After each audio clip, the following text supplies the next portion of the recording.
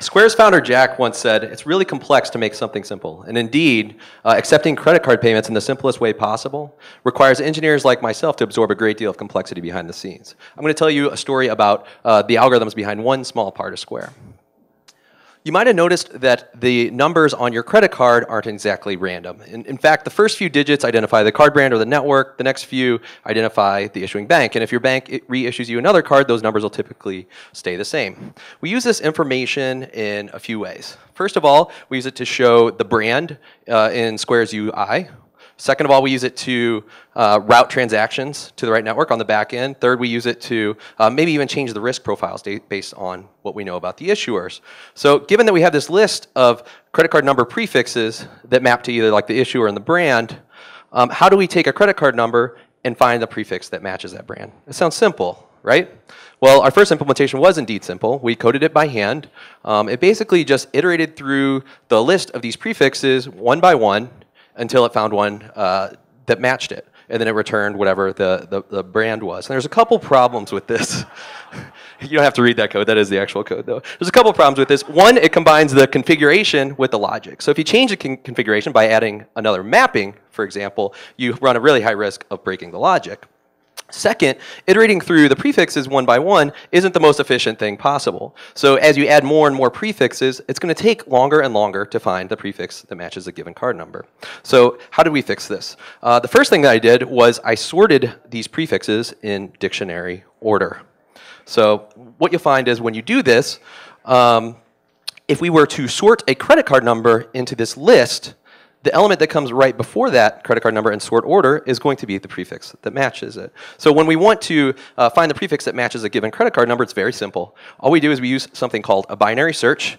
Uh, we binary search within this list to find out where the credit card number would go. We look at the preceding entry, and then we see if that prefix matches the credit card number. And if it does, we return the brand.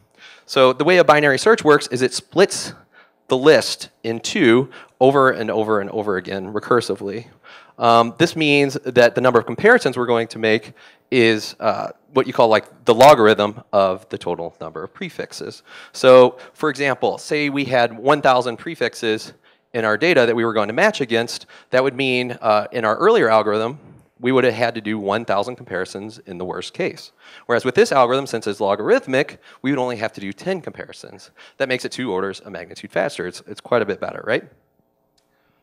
So this worked great for uh, simple prefixes. The actual code was really simple. It only required like a few lines of code because we reused existing libraries, but it didn't work so well for ranges of prefixes, which can get into the hundreds of prefixes. And uh, the reason is the search was fast, but creating all these prefixes up front was slow and it took up a lot of memory. So to solve this problem, we turned to one of my idols, Edward Fredkin. Edward Fredkin's a really cool guy. He was one of the first computer science professors at MIT, even though he didn't have a bachelor's degree himself. He was the inspiration for Stephen Falken in war games, and in addition to that, he also created this great data structure in 1960 called a trie. Now, the way a trie works is it's a special kind of tree where it breaks the keys, or the prefixes, in this case, out across the nodes. So uh, one digit per node. So to use a trie, you take the credit card number, you start at the root of the trie, uh, you match the first digit in the credit card number against the, uh, you find the child node that corresponds to that, and then you find the grandchild node that corresponds to the second digit in the credit card number, and then so on until you have a match. Now, the really cool thing about this is one, this is what we call a constant time algorithm.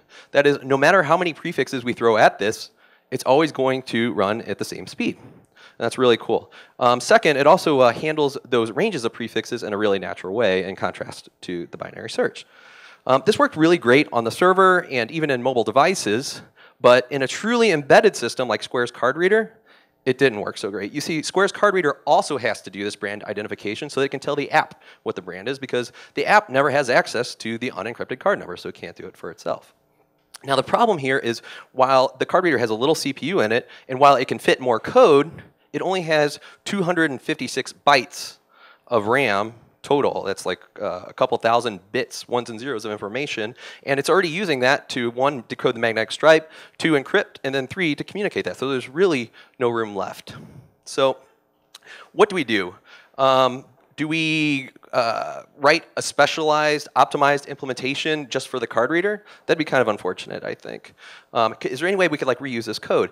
And after some thought, I, we came up with what I think is a really clever hack. We took that trie in the existing configuration, and from that, we generated code that effectively uh, mapped the trie to a series of nested switch statements. So the first switch would map the first character, and then the second switch would match the next character. And the really cool thing about this is, in contrast to the trie, which took up a lot of memory, this ran at the same speed, or maybe even a little faster, and it takes up zero RAM.